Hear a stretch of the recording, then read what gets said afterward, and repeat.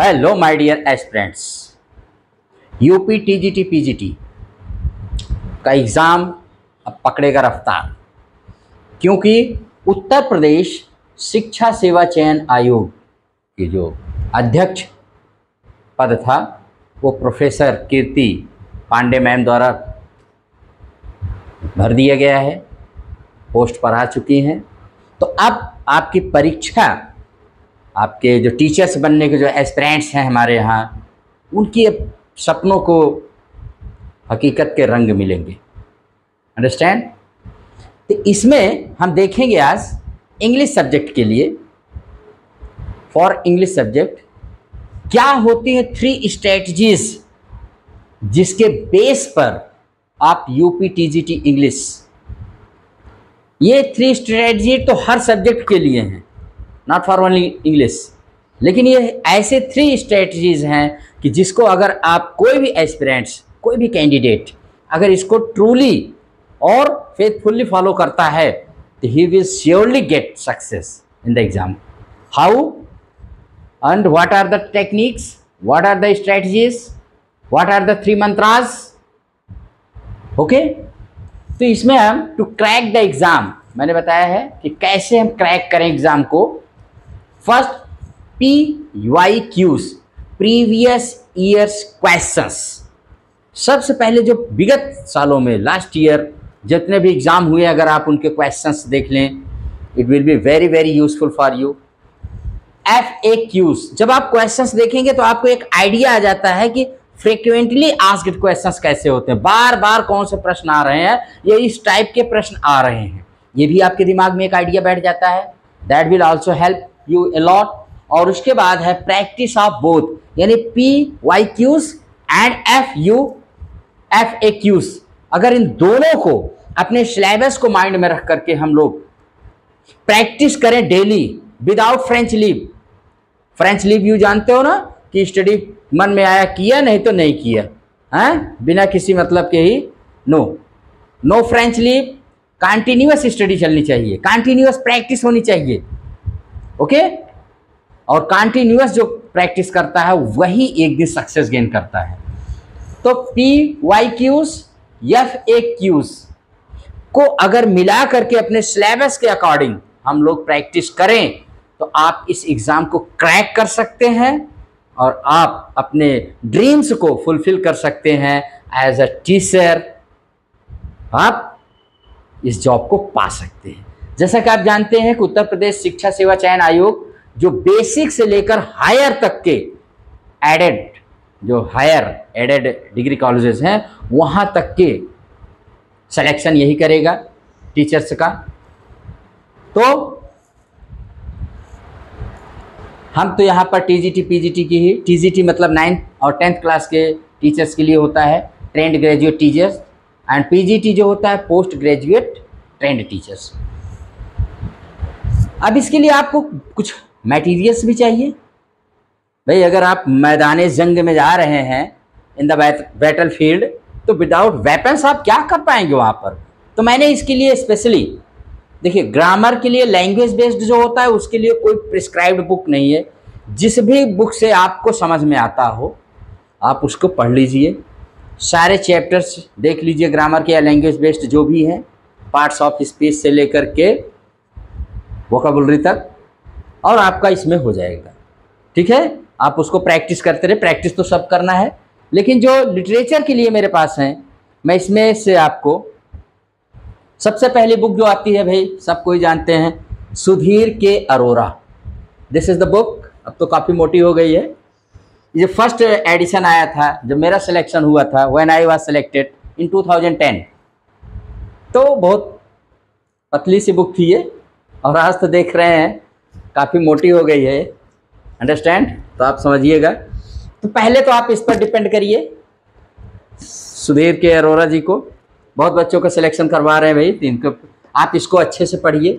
Again and again read करिए। और जो दूसरी बुक मेरे समझ में आती है, एक समसामयिक घटना चक्र की आती टीजीटी पीजीटी करके ये। This is the book very important है। वन लाइनर के फॉर्म में दिया गया है। बहुत ही अच्छे से इसको भी अंडरस्टैंड किया गया इसमें भी आपको यू कैन अंडरस्टैंड इसमें बहुत अच्छे वे में एलोबरेटली आपको इसमें आ, बताया गया है मैटर को। तो ये और तीसरी बुक जो मेरे समझ में आती है और जो बहुत बच्चे लाइक करते हैं ये है यूथ कंपटीशन टाइम्स की इंग्लिश इसमें सॉल्व पेपर्स रहते हैं पी वाई कीज़ के लिए बहुत अच्छा है।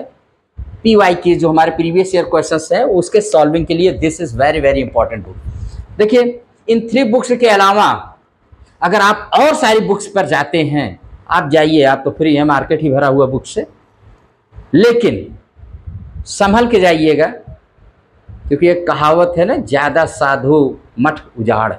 तो ज़्यादा बुक्स जब हो जाती हैं तो आपको इतना कन्फ्यूजन्स हो जाते हैं। या किसको पढ़ें, किसको ना पढ़ें, और उसके चक्कर में हम किसी को नहीं पढ़ पाते। और that's why we fail that's why we get failure we get failure हम असफल हो जाते हैं। हमें असफलता मिल जाती है। और उसको हम समझने की कोशिश नहीं करते। हम कह रहे एक ही बुक को टेन टाइम्स पढ़िए। और टाइम मिले तो उतनी बार पढ़िए। अगेन एंड अगेन पढ़िए। आपको सफलता दिला देगी। You will get the success लेकिन टेन बुक लेकर के किसी भी एक बुक को आप नहीं पढ़ पाएँगे। यू विल गेट फेलियर आप फेल हो जाएँगे अंडरस्टैंड तो आप ये थ्री बुक्स के बेस पर और एक ग्रामर जिसमें अच्छे से वोकैब्स की प्रैक्टिस आप करते रहिए तो you can easily pass this exam very easily चूँकि टीचर्स की रिक्वायर्ड है और गवर्नमेंट ने भी मूड बनाया हुआ है, हमारे यूपी गवर्नमेंट ने योगी जी ने कि भाई टीचर्स की जो कमी है उसको पूरा किया जाए। तो मेरी बेस्ट विशेज है कि अगर आप, ये मेरा फोर्टीन ईयर्स का as a government teacher teach करने का मेरा एक्सपीरियंस है, जो मैं आपको बता रहा हूँ कि बहुत ज़्यादा भटकाव मत लाइए अपनी किताब पर कि क्या क्या पढ़ लें।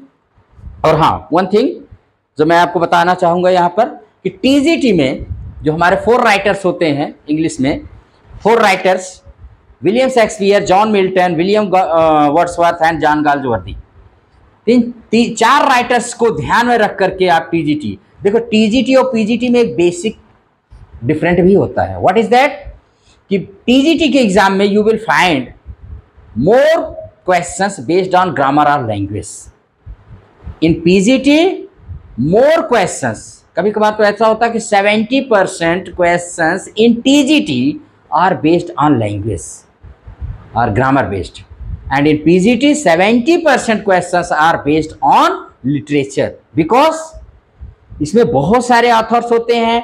हमारे टोटल 17 ऑथर्स हैं। 17 ऑथर्स हैं। एक मैं बता रहा हूँ। जैसे 10 इंग्लिश राइटर्स हैं, जिसमें William Shakespeare William Wordsworth John Keats Charles Lamb P B Shelley Charles Dickens Matthew Arnold Alfred Lord Tennyson Thomas Hardy T S Eliot ये टेन हमारे राइटर्स हैं जो इंग्लिश राइटर्स हैं। थ्री इंडियन राइटर्स हैं इसमें, कमला दास, मुल्क राज आनंद, निजीम एस्कील।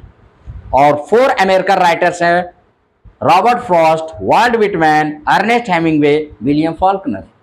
ये सेवेंटीन राइटर्स आपको पढ़ने हैं। तो यहाँ पर लिटरेचर का पोर्शन बहुत बड़ा हो जाता है। और टीजीटी में ग्रामर का पोर्शन बहुत ज़्यादा होता है। वो ज़्यादा वेटी होता है, वो ज़्यादा भारदार होता है, ज़्यादा मार्क्स आपको देता है। फ़िलहाल आप इसी बेस पर अपनी तैयारी को दीजिए और किसी भी नेक्स्ट क्लास में हम आपको बताएँगे कि how you will read one by one देखिए टीजीटी के तो दो राइटर आपको पीजीटी में भी मिल जाते हैं William Wordsworth and William Shakespeare तो कितना है? अच्छा एग्ज़ाम है बहुत ही अच्छा है। मैं तो समझता हूँ आज के अगर इस uh, परिवेश में देखा जाए तो ये एग्ज़ाम काफ़ी ठीक है अपने सब्जेक्ट के लिहाज से। अगर आपको अपने सब्जेक्ट में इंटरेस्ट है और एक टीचर बन करके एक अपनी पहचान आप बनाना चाहते हैं तो this is a golden chance for you, for everyone who aspires to be a teacher, who is a candidate or who is an aspirant for the post of a teacher. अगर आप टीचर बनना चाहते हैं तो आप इन्हीं base पर practice शुरू कर दीजिए अगेन एंड अगेन करिए अगेन एंड अगेन करिए और तब तक बोरिंग मत होइए जब तक आपको सक्सेस न मिले ये मैं कह रहा हूँ this is I am speaking this is my experience of fourteen years ये फोर्टीन ईयर्स का मेरा एक्सपीरियंस कह रहा है कि practice makes a man perfect अगर आप जितना प्रैक्टिस करोगे कैंडिडेट क्या करते हैं? उनको लगता है कि अरे पढ़ते पढ़ते बोरिंग मैं बोरिंग क्यों होते भाई? आप इनको अपना फ्रेंड मान लो ना। अरे भाई टेंशन टेंशन से टेंशन दूर करो। टेंशन को पढ़िए ना। जितने भी हैं उनको एक फ्रेंड की तरह उनके वर्क्स उनके कोर्स उनके उनके जीवन की कोई अगर आ, ऐसी कोई इवेंट है या कोई ऐसी जो इवेंट है जिसमें वो बहुत अच्छा उसमें चेंज आया उनकी लाइफ में तो आप उनको देखिए उनसे आप जुड़िए उनसे आप कनेक्ट करिए अपने आप को। आप देखेंगे कि एग्ज़ाम वेरी इजी हो जाएगा आपके लिए। आप उनके वर्क्स और उनके कोर्स ऐसे सिर्फ़ इसलिए मत रटिए कि मुझे एग्ज़ाम देना है। इसलिए रटिए कि आप उसको, आप उसमें इंटरेस्ट लीजिए। क्या यार, क्या जान गाज वर्दी ने कह दिया? अरे वाह, क्या बात है शेक्सपियर साहब की। ठीक है, उनको प्रेज अप्रिशिएट एडमायर करते हुए पढ़िए। और देखिए, आपका एग्ज़ाम आपको एक लोड नहीं लगेगा, बहुत ही इजी लगेगा। तो बस यही थ्री थ्री स्ट्रेटजीज के थ्री मंत्रास थ्री फार्मूले जो हैं, इनके बेस पर आप P Y Qs F A Qs और प्रैक्टिस ऑफ़ बोथ और ये जो बुक है मैंने बताया है, घटना चक्र स्केयर हो यूथ कंपटीशन टाइम्स और एक ग्रामर जो भी आप ग्रामर की तो बहुत सारी बुक्स हैं। अब उसमें किसी एक स्पेशल हालाँकि इस सब बुक्स में आपको ग्रामर के पोर्शंस दिए गए हैं। तो अगर इतना ही सफिशियंट है, आप इसको ही अच्छे से खूब वर्क करिए। और जब भी आप वकैब तैयार करिए तो वकैब पढ़िए मत। वकैब जब भी बैठिए आप, एक पेन कॉपी लेकर के टेन ही वर्ड्स तैयार करिए। लेकिन आप उनको अच्छे से, खूब अच्छे से उनके एंटानेम्स, सिनानेम्स, अगर उसके कुछ आप रूट वर्ड जानते हैं, उसमें कुछ पकड़ पाते हैं तो उससे पढ़िए। और इस तरह से आप देखिए कि आपका सिलेक्शन श्योर होगा।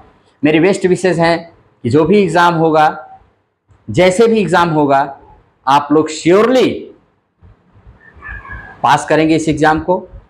और अपने पेरेंट्स अपना खुद का ड्रीम फुलफिल करेंगे। यही मेरी बेस्ट विशेष है। यही मेरी आपसे सजेशन है एडवाइस है, जो मेरे पास है।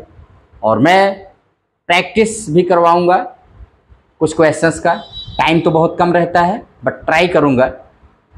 प्रॉमिस कर रहा हूँ, कुछ टाइम निकाल करके ज़रूर मैं कोशिश करूँगा।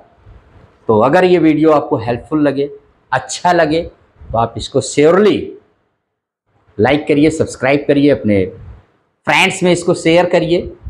और जो आपको प्रॉब्लम हो अगर इस सब्जेक्ट में स्पेशली इन इंग्लिश में तो आप मुझसे बता सकते हैं। अगर मेरे स्तर का होगा तो I will try to remove your problem उस प्रॉब्लम को मैं रिमूव करने को, उस प्रॉब्लम को मैं सॉल्व करने को कोशिश करूँगा। बस ट्राई ही करूँगा। मैं तो सिर्फ़ ट्राई में ही विश्वास करता हूँ।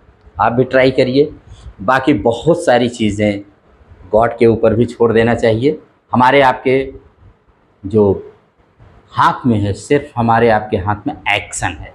हम एक्शन कर सकते हैं फ्रूट हमारे आपके हाथ में नहीं है। तो बस do your action and wait for your fruit अपने फ्रूट का वेट करिए।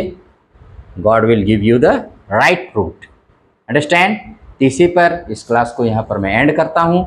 फिर नेक्स्ट क्लास में टी और पीजीटी को अलग करके, या प्रैक्टिस सेट में जैसे भी होगा I will try to give you तो इसी के साथ क्लास को एंड करते हैं। आई होप कि आपको ये वीडियो अच्छा लगेगा। ठीक है? Thank you very much